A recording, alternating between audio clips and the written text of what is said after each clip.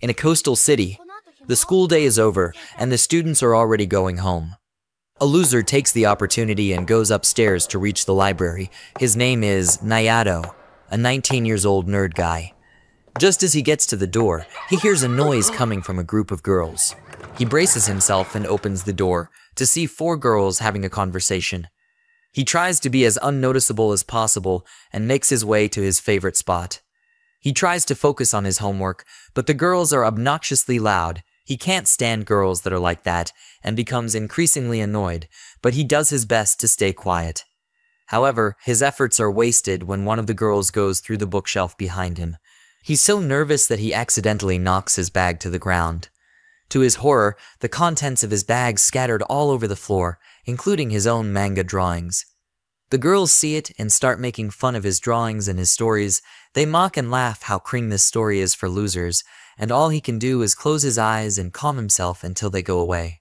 But one of the girls doesn't, as she takes notice of his unusual reaction.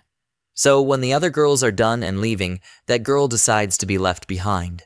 She takes a seat in front of Nayato and starts talking by introducing herself as his junior, just a year younger than him, but Nayato has a bad feeling from this girl's smile, like she's a predator who saw his prey. Suddenly, she starts annoyingly reading his manga, clearly trying to embarrass him, but he's just focusing on remaining calm again. She will just leave after she's done mocking him like the others. After reading from the manga, she points out that the main character, Siegfried, is exactly him. Even though Nayato tries to deny it, she continues that she feels sorry for both the character and him. She reenacts one of the scenes he drew and waits for him to do the same part he did in his manga.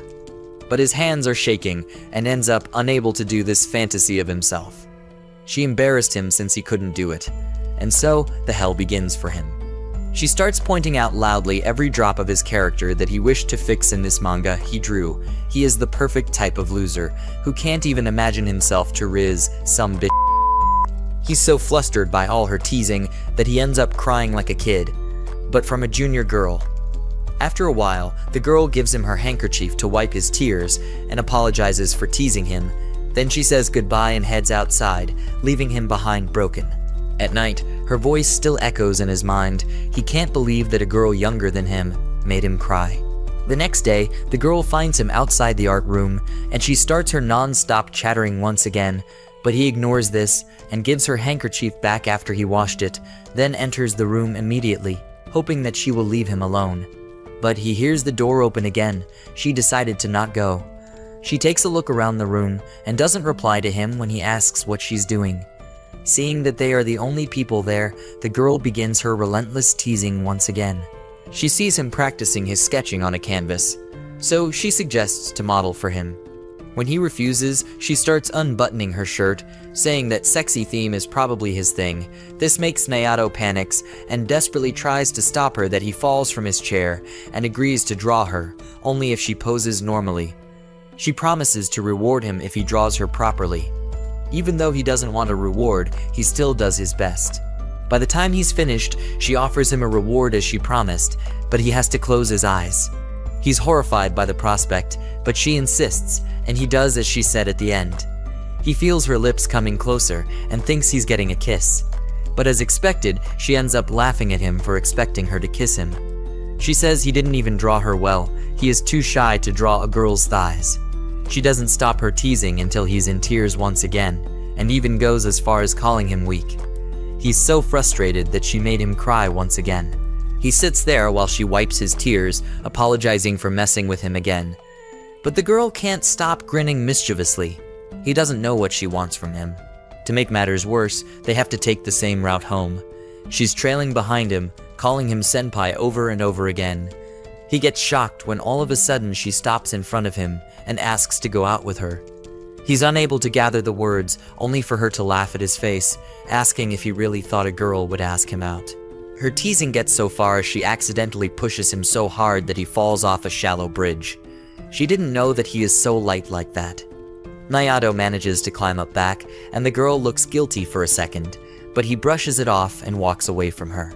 She asks if he ever gets angry, but what she doesn't know is, he learned to deal with bullies a long time ago. It's better for him to not fight back till they leave. At the end, he says, yes, she annoys him a lot, but he can't hate her for this. She tells him to stop calling her Mrs. and says her name is Nagatoro, and she wants them to get to know each other. After another school day, Nayato is going to have a peaceful time in the art room to read a highly anticipated manga story. It's dark, he's alone, just like he likes. After eating his dinner, he excitedly brings out the manga. However, the little piece is instantly ruined when Nagatoro finds him once again. He panics and clumsily hides the manga behind his back. He can't have her seeing it, especially since this volume has pervy themes. However, the girl is perceptive beyond belief. She manages to sniff out that he's hiding something dirty. He tries to stuff the manga in his bag, but she busts him. He tries to get it back, but she keeps dodging, with him insisting that it's nothing. She manages to get the manga after he's exhausted, and as expected, she finds the pervy parts instantly and starts the hell like teasing. Nagatoro finally calms down when she realizes that it's a vampire story. Surprisingly enough, she's quite interested in the genre. She's fascinated with the prospect of love and romance with an immortal. But of course, a conversation between the two of them will not last long without her teasing him. She tells him that he is safe from a vampire attack because they don't attack virgins. Nayato is frustrated with her insinuating his lack of sexual experience. He says that unless she is a vampire, she would not know whether he's a virgin or not. But she gives him some hints that she actually is. She doesn't give him a chance to run and tackles him to the ground. He ends up panicking so badly, but she keeps going and starts unbuttoning his shirt, then gets closer to bite his neck. He opens his mouth to protest, and she unexpectedly stands. Turns out she can't stand his garlic breath from his dinner, like a real vampire. He tries to escape, but she's on him once again. They end up on the ground in the most awkward position. She does not realize that her hand smashed his crotch. He can hardly breathe, especially since she unknowingly made a squeezing motion.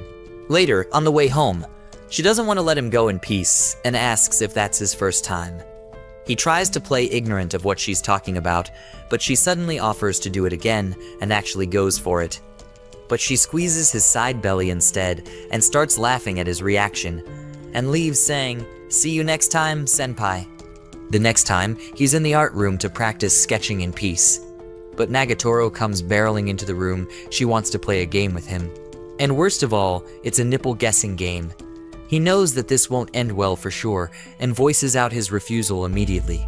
But she teases him for reacting like a loser. She convinces him that he will get a, you can ask me to do anything ticket, and explains that he can make her do anything with it, like literally anything. He realizes that he can make her stop messing with him, and so he reluctantly agrees to her game. He still doesn't like the idea, but that's his chance to stop her. Nagatoro gets the first turn, and he is so nervous about it. Using her two index fingers, she attempts to poke his nipples, but luckily for him, she misses it. However, she starts swirling her finger around, hitting it, turning him into a puddle, and forcing him to say that she hit it. When it is his turn, Nagatoro didn't expect that he's willing to do it for real, and pretends that she doesn't care. She suddenly pushes him to the ground. She claims that his time is out, and she is now the winner of the ticket, then runs saying she has to meet her friends. Later, Nayato goes to a family restaurant to spend time and thinks that he's safe her. But Nagatoro comes in with her friend and another two dudes. She notices that her friend has set her up with two guys. While the first dude starts showing off his music, Nayato thinks that she's gonna show her sadistic side to them and make them cry like him. But to his surprise, she barely gives a fuck about the two dudes and coldly turns them down after she makes them look like creeps. Is he the only one she teases so much? Nagatoro catches up to him while heading home and tells him that he has a very sus shadow she recognizes from a distance. She was like, What is this creepy shadow over there? And again, she starts teasing him for being like a real loser. On a peaceful day, Nayato is once again in the art room, and like usual, Nagatoro shows up from nowhere. She insists on modeling for him again, but he argues that he prefers still objects to people. When he ignores her, she drops her skirt and starts undressing in front of him. Naturally, he averts his gaze to avoid looking. But this is pointless because she's actually wearing a swimsuit underneath that she got from the swim team. She just wants to tease him. Later, it starts to rain heavily. Nayato and Nagatoro got caught up in the rain and found themselves soaking. They have no choice but to stay under the shed and wait for the rain to stop. And of course, despite the situation, she still finds an opportunity to tease him. Noticing how soaked her uniform is, she starts taunting Nayato that he wants to catch a glimpse of her body since he is a big pervert. He gets beyond annoyed because she keeps messing with him and thinks that she's lying to him and wearing a swimsuit once again. He turns around saying, You can't trick me. Only to be met with the image of her uniform revealing her underwear, they end up facing away from each other out of embarrassment. She recovers quickly, as expected, and uses the incident to tease him some more. That is when they notice that it's getting cold, and it seems that the rain will not stop anytime soon. Nayato suggests that they make a run for it, but Nagatoro says that her home is closer than his. He doesn't seem bothered by it, that's when she teasingly offers that he stay at her house for a while. When they get to her home, his first thought is that her whole family is the same sadistic as her, even the cat. He stands by the door afraid until she comes and invites him further inside. She explains that her parents are not home and gives him a towel to dry himself. He thinks that this is the one she used to dry her body. But badly for him, she was peeking and tells him it's not his lucky day. She lends him some clothes that her brother apparently owns. And after some more teasing, they end up drinking hot beverages in a room. She won't let this opportunity pass and makes fun of him by asking, what do you think guys do when they are alone with a girl? She explains that it's something he needs to be using his fingers for and keeps doing it till something big happens, which makes him increasingly flustered. Turns out she only means playing video games. While they're playing a game, Nagatoro is pretty self-assured, but she does not know that he is actually a pro, and he wins the first round with ease, leaving her furious. Nayato, on the other hand, wants to utilize this chance to get back at her for constantly mocking him. However, he underestimated her competitive drive. Right when he is about to win, she blows air at him. This startles him so much that she gains the advantage and prevails in the second round. That's clearly cheating. But she doesn't care as long as she wins. It keeps going like this till Nayato realizes that they are actually enjoying. By the time the rain stops, they agree to play again soon. The next day at school, Nayato struggles to find a free seat during lunch. Resignedly looking around for a vacant spot, Nagatoro signals him over to a table, but with her friends. Seeing no other choice, he reluctantly sits with them. Her friends instantly presume he's her boyfriend, and rather than denying it, she affirms they are in a relationship. Her friends immediately start ridiculing him, saying he's acting like a virgin, he's more like a pet than a boyfriend. Nagatoro begins stroking his head, agreeing with their statement despite his embarrassment. But when one of her friends tries to pet him as well, her mood shifts. She slaps away the other girl's hand, claiming his head is too sticky. Strangely enough, she has an angry look on her face, and the other girl notices and wonders why she's behaving this way. So she calls him a bug, and this infuriates Nagatoro even more. When Nayato notices her behavior, he abruptly stands up and declares he is not her boyfriend. But this does not improve her mood whatsoever. Later on, Nagatoro tells him he's so weak and doesn't know how to stand up for himself. She then demands that he learn to smack someone's shoulder when they are insulting him. He's reluctant to go along with her antics at first, but gives in and follows her as usual. She starts annoying him about all sorts of things and insisting he defend himself. When she takes her mocking too far, he snaps and tries to smack her shoulder, but he hits her mommy milkers. As expected, this leads to an afternoon of taunts and jokes from her. Later on, Nayato washes his hands after doing some oil painting. Suddenly, Nagatoro appears to share the same tap he is using, even though there are others. She claims to have spilled some juice and wants to wash her hands as well. At least trying not to think about how weird the situation is, she suddenly blurts out how it looks like they're taking a bath before making love. That gets a hell of a reaction from Nayato, then she takes his hand and starts washing it suggestively, and asks why they don't do it actually. But he ends up running away from her. Time passes, and Nayato is having a peaceful time eating lunch in the art room when he hears the door open. Here comes the trouble again. But it's not Nagatoro, her friends this time. They sit in front of him looking at him for a while, then they start making fun of him for being a virgin. They insist that he is a closeted pervert and asks if he touched some breasts before. From his reaction they know the answer, and tells him that it's his lucky day, they gonna let him touch her honkers. He starts running immediately, but one of them catches him. The other closes the room door, and both of them start teasing him, and they force him to touch the other girl's breast.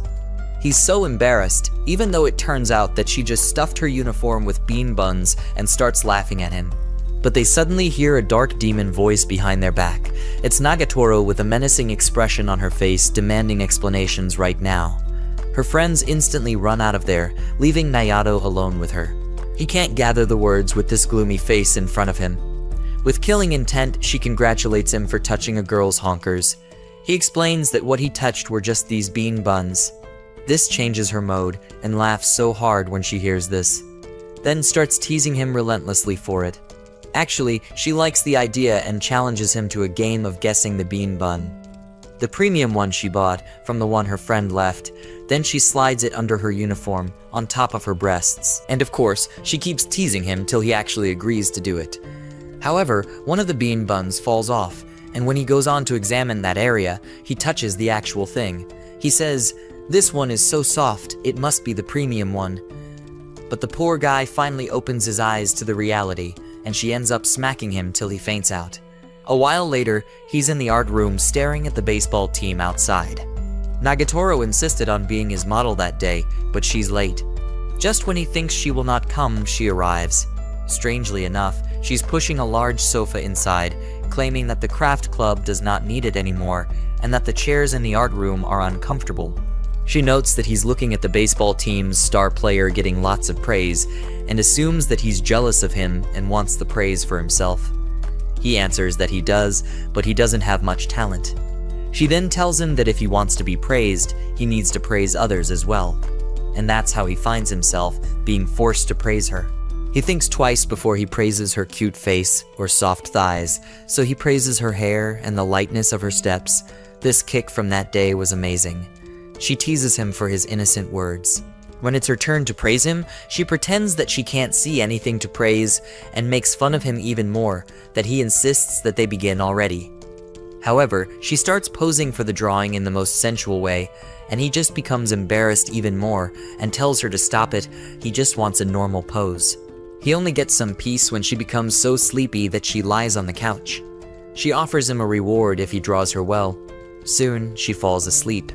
He stares at her peacefully sleeping for a while and smiles to himself. Then he begins to draw her in earnest.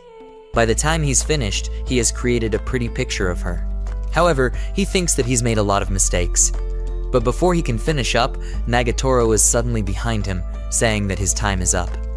She intends to give him his reward, but he won't fall for her jokes so easily anymore. When he closes his eyes, unexpectedly he feels softness on his lips and opens his eyes. But she was actually pressing a toy to his lips and makes fun of him inserting his tongue inside the toy. When she sees the picture of her, she smiles softly and tells him that she likes it. Later on, Nagatoro gives him a visit in the art room once more and starts berating him, saying he looks as gross as usual. However, something seems off with him, he's ignoring her completely. She repeatedly calls him gross trying to get a reaction, but nothing works. Suddenly, her friends enter and asks him to hang out with them instead, since Nagatoro is always insulting him anyway. To her utter dismay, he actually agrees and leaves with them, leaving Nagatoro behind starting darkly, already plotting how to get rid of the evidence after she disposes of the bodies. Fortunately, she then wakes up from a nap in the art room. Nayato gets worried about her, and she notices he draped a blanket over her while she slept. He didn't want her to catch cold. His thoughtfulness makes Nagatoro blush, admitting he seems less gross today. Later, when she stares at him, Nayato knows more teasing is coming. She says since he's a virgin, he must be quite sensitive, and to test her theory, she chases him around tickling him mercilessly. As expected, the timid boy is very ticklish indeed. After, while Nayato draws, Nagatoro shows him a video of a sheep getting sheared. She finds it thrilling and Nayato agrees it's satisfying to watch. Noticing his hair is similarly puffy, Nagatoro says she'll cut it, since it has gotten rather long and shaggy. Horrified, Nayato sees her produce clippers from her bag that she borrowed from her brother. He strongly objects to her idea as he backs away from her. She, however, is persistent and convinces him that she would only do the tip. He tells her that he doesn't cut his hair this short to be using a shaver, so she answers that they can use a scissor instead. She claims to have trimmed her brother's hair as well, so it won't be a problem. He imagines her with a scissor cutting his hair and thinks it's not so bad to let her do it. Before she can begin, her phone rings. Her friends are calling her to return her notes. She tells him that she'll be right back. What she doesn't know is this is a trap to get her away. Her friend enters the art room, and Nayato instantly feels threatened. It becomes even worse when they notice the shaver on the table, and because they have nothing better to do than bullying the innocent guy, they want to shave his head. One of them holds him down while the other does the job. Her phone rings, and Nayato tells them to answer the call first, but they say it's nothing important. He remembers that he promised Nagatoro that she'll be the one to trim his hair, and suddenly starts moving his head like crazy to make it hard for them to do it. Nagatoro was in her way back, but she hears her senpai screams and arrives on time. She's incredibly pissed off, so both of them ran off instantly to get away from her. At the end of the day, she gets to cut his hair after all. After she's done, he actually likes what he sees, he blushes, and thanks her sincerely. She's taken aback and turns red as well.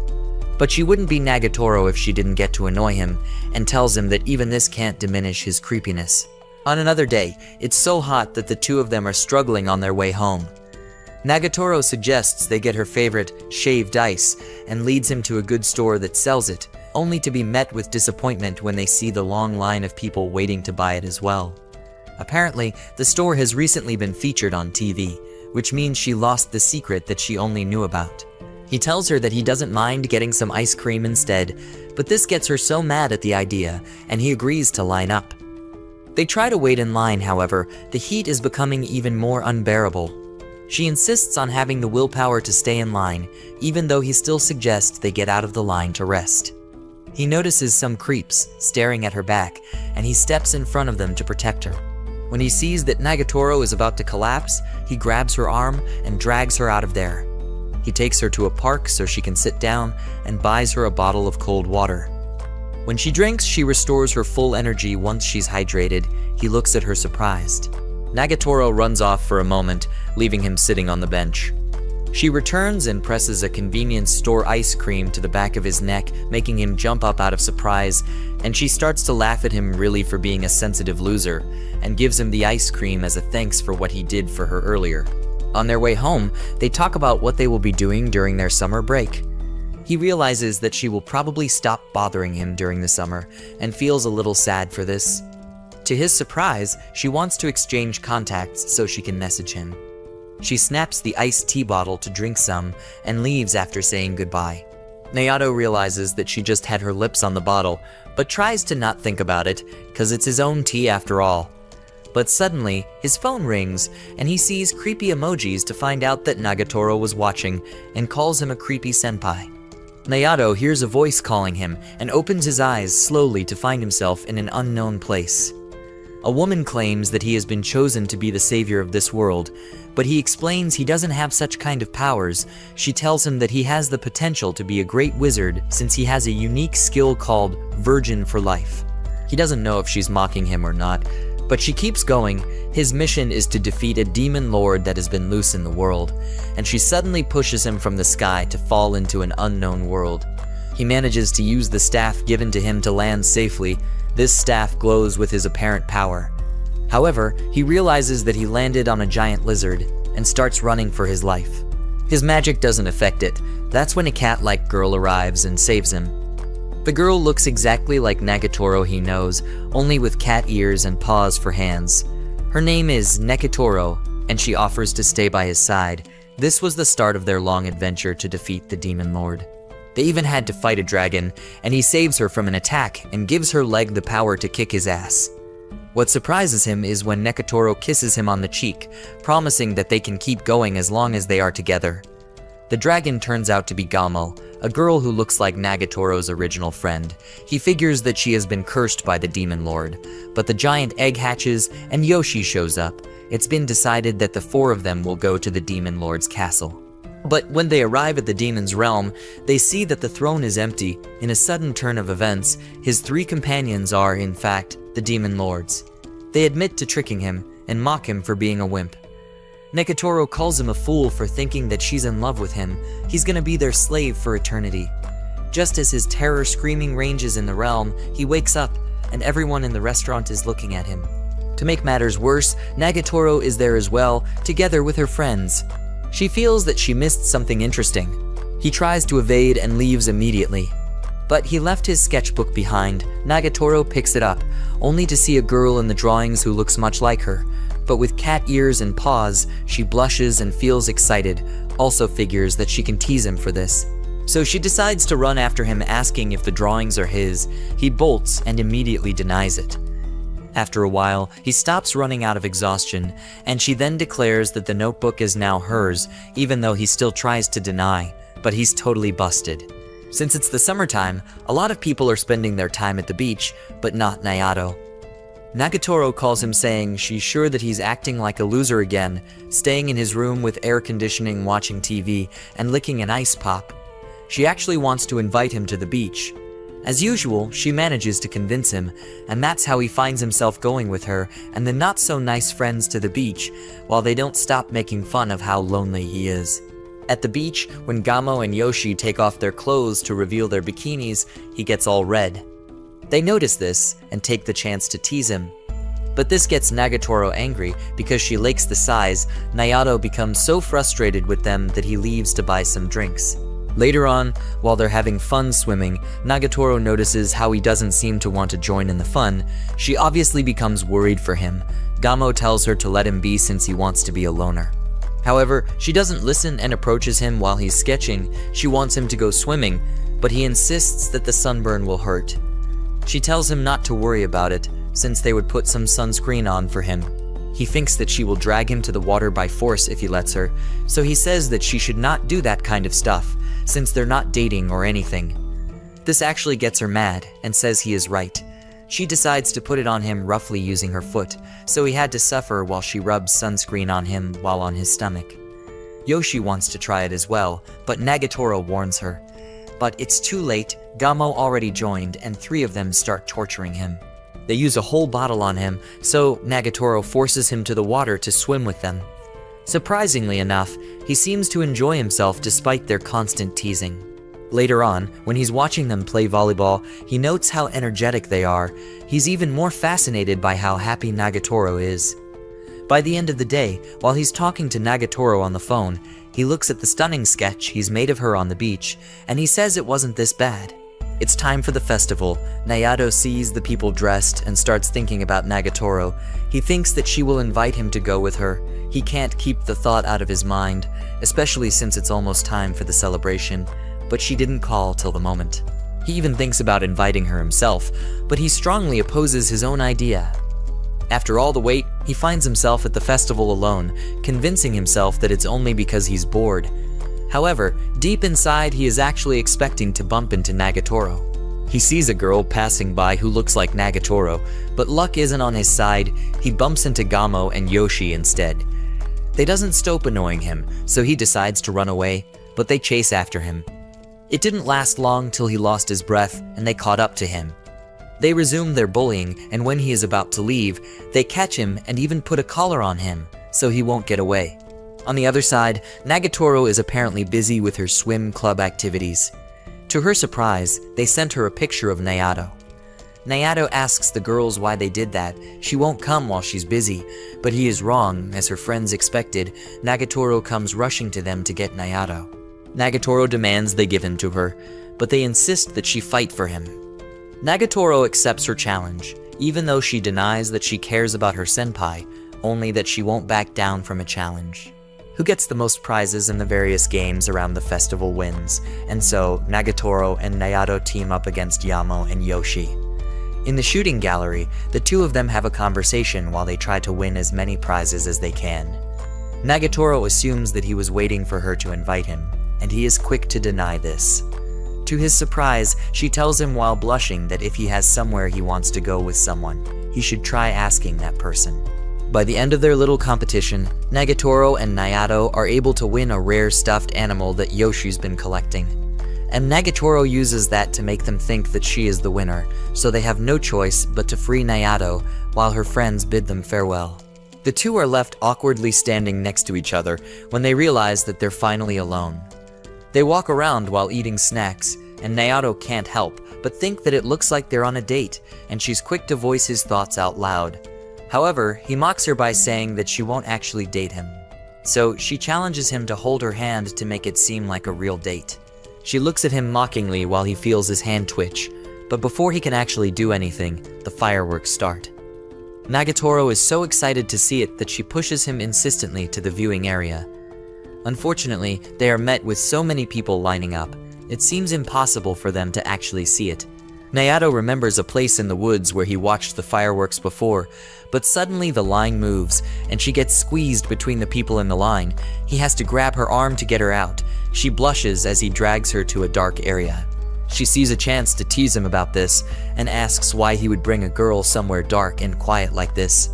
However, she stops when she sees how amazing the fireworks are in this area. Moments later, she remembers what she was doing, as she implies that he intends to do something sleazy by bringing her there. On the other hand, he knows that she can get shy as well after spending all this time with her, so he asks her for specific details about what exactly she's talking about. She stammers and tries not to say the explicit details, and he pushes her more. But he did not expect her to actually blurt out that he's probably planning to do something dirty in the dark. He immediately denies it, and she starts to go far with it to embarrass him even more. Their seemingly endless banter is interrupted when the fireworks light the area, and they finally notice what this dark area is used for. They see couples kissing everywhere. Both of them freeze for a while, then run out of embarrassment. They set somewhere else to watch the fireworks together. With the start of a new school term, Naoto was feeling exhausted as he headed home one afternoon. He happened to come across Nagatoro hanging out with her friends. Wanting to avoid them, he ducked behind a nearby tree, thinking that they seemed to live in completely different worlds. His insecurities grow when two guys show up, clearly intending to join the group. He overheard one of them aggressively convincing Nagatoro to hang out with them, even going so far as to put his arm around her shoulder. Nagatoro quickly removes the arm, clearly uncomfortable with his advances. Naoto had no idea what he was doing, but he panicked when the group noticed him hiding there. When confronted by them, he tried his best to stay calm, although it was a struggle. Mustering his courage, he told Nagatoro that it was time for them to head home. To his relief, she gave him a warm smile and readily agreed. Her other friends quickly followed suit, leaving the pushy guys behind. The next day, Nagatoro comments about how flimsy and thin Naoto is. She thinks that it's the reason why girls tend to push him around. He pitifully agrees that he's a bean sprout, but she insists that he should do some muscle training. Naoto tells her that it's too much work, and that he'd rather do something that does not require moving. And somehow she has an idea for this. She forces him to get to the ground on all fours. At first, he's confused, but he gets shocked to see her butt getting closer to his back. She actually sets on him. He has no choice but to stay put and carry her weight. She explains that this is a kind of muscle training since he doesn't want to do other types of exercises and refuses to get off. However, she goes even further and starts riding him like a horse. While he can feel the touch on his back and blushes, he can't even tell her that he can feel it. But the door was open,